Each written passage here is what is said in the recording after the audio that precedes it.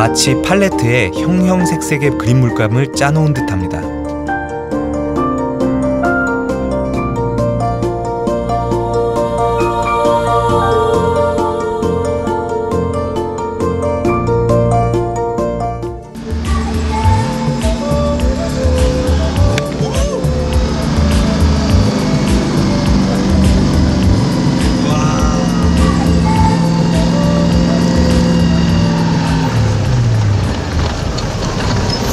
사막과 바다가 공존하는 월비스 베이에는 신기루처럼 하나의 섬이 떠 있습니다. 사막의 바닷물을 끌어들여 만든 염전인데요.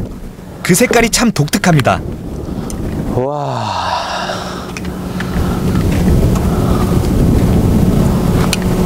Oh, this is awesome. Awesome. Yeah, it's a nice One of the place. biggest uh, salt companies in Africa. Aha. They produce plus minus 700,000 tons of salt a year. But all for industrial chemicals. Ah. There's a red red part. That's a small shrimp or bacteria in the water. It's the only thing that can survive in this high polluted uh, salt water.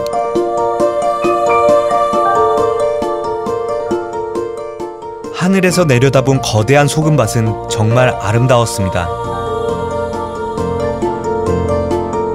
마치 팔레트에 형형색색의 그림 물감을 짜놓은 듯합니다.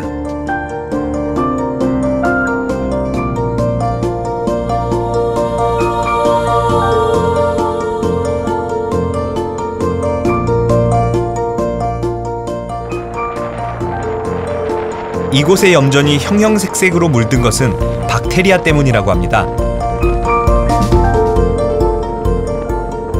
박테리아는 태양열의 흡수율을 높이고 물의 온도를 높여 바닷물을 빨리 증발시키는 역할을 한답니다.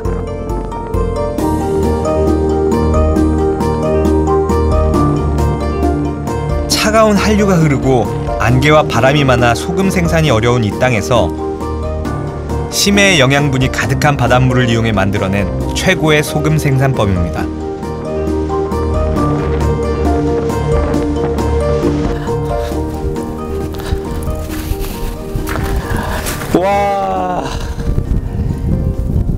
완전 레몬빛이네. 염전의 색깔은 박테리아에 따라서 각기 다르다는데요. 생산되는 소금은 모두 하얀색이랍니다.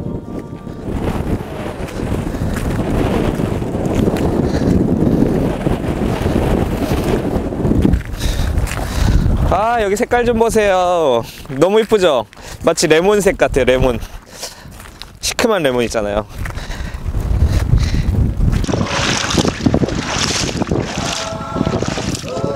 (4,500 헥타르) 여의도 면적의 5배가 넘는 염전에서 생산되는 소금은 70만 톤이라는데요.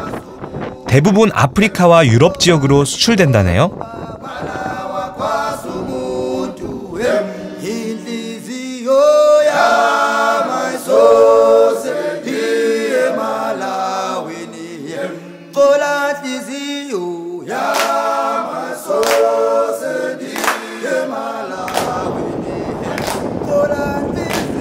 염전 옆으로 펼쳐진 월비스 베이의 바다는 16만 마리에 달하는 새 안식처이자 매년 20만 마리의 철새들이 머물다 가는 새 정거장입니다.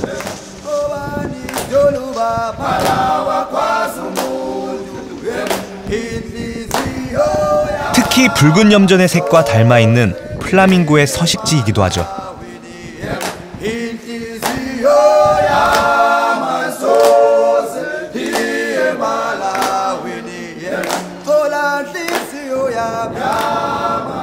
염도가 높은 물속에 사는 조류를 먹이로 하는 플라밍고에게 이곳은 천국인 셈이죠.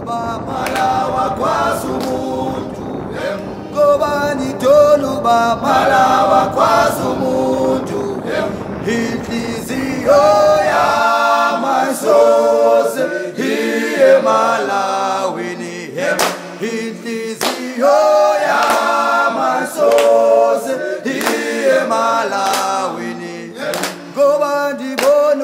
Malawa kwazundu Gobani Yoruba Malawa kwazundu Inhliziyo yamasose Hiye Malaweni Inhliziyo yamasose Hiye Malaweni Hem.